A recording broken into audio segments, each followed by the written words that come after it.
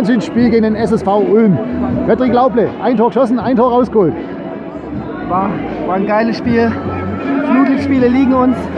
Wir haben von Anfang an alles reingehauen. Wir sind übers Limit hinaus.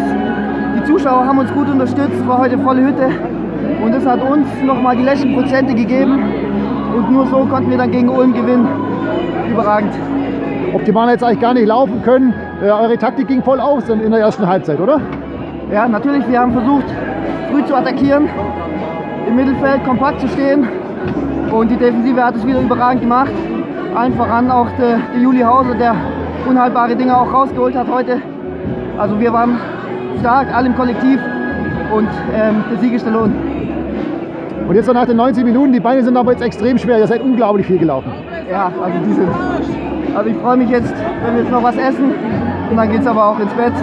Erstmal erstmal regenerieren und dann am Montag wieder arbeiten für Offenheim. Noch eine Frage, wie sicher warst du, dass Stefan Vogler den Elfmeter reinmacht? 100 Prozent.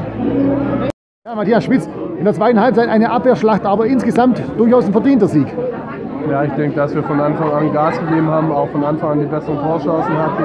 Wir können 2-0 in Führung gehen, haben mit meiner Chance in der zweiten Minute kleine Dicke und ja, dann Pet macht die gut rein und dann hat man nochmal eine, aber mit 1-0 in Pause, dann sind wir ja, war es nicht so gut, wie wir rauskommen sind, haben, hat Römer auch gut gedrückt, aber dann sind wir wieder ins Spiel gekommen, haben unsere Abwehrschlacht wieder voll Gas gegeben und ja, dann ist der Elfmeter klar.